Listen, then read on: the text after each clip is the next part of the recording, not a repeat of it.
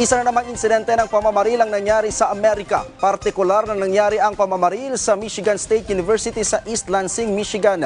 Tatlo ang patay at lima ang sugatan sa insidente. Agad namang dinala sa ospital ang mga sugatan ayon kay Interim Deputy Chief of the Campus Police Department Chris Rozman. Natagpuan sa labas ng campus ang 43-year-old na suspect ngunit wala ng buhay. Masusinang iniimbestigahan ang nasabing insidente.